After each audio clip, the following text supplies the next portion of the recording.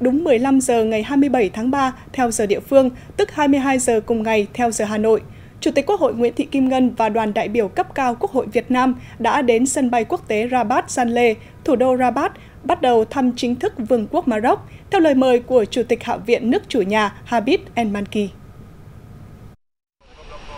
Đón Chủ tịch Quốc hội Nguyễn Thị Kim Ngân và đoàn đại biểu cấp cao Quốc hội Việt Nam tại sân bay có Chủ tịch Hạ viện Maroc Habib El Manki, Đại sứ Maroc tại Việt Nam Azzeddin Fahane, Đại sứ Việt Nam tại Maroc Trần Quốc Thủy, đại diện Hội người Việt Nam tại Maroc cùng các cán bộ, công nhân viên chức Đại sứ quán Việt Nam. Maroc là quốc gia Bắc Phi có nền an ninh chính trị và xã hội ổn định vào bậc nhất của khu vực châu Phi.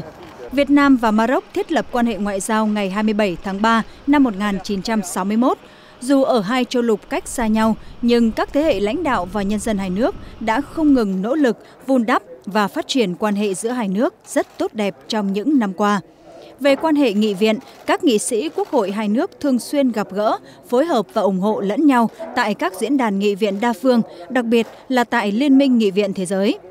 Chuyến thăm chính thức của Chủ tịch Quốc hội Nguyễn Thị Kim Ngân tới Vương quốc Maroc lần này đúng vào ngày hai nước thiết lập quan hệ ngoại giao được 58 năm, ngày 27 tháng 3 năm 1961, ngày 27 tháng 3 năm 2019. Chuyến thăm thực hiện sau 14 năm kể từ khi Chủ tịch Quốc hội Nguyễn Văn An thăm Maroc vào năm 2005. Chuyến thăm nhằm tăng cường quan hệ hữu nghị và hợp tác nhiều mặt với Vương quốc Maroc, trong đó trọng tâm là hợp tác thương mại, đầu tư, du lịch, ngân hàng, năng lượng, hợp tác giữa các địa phương, hợp tác ba bên giữa Việt Nam, Maroc và một nước châu Phi khác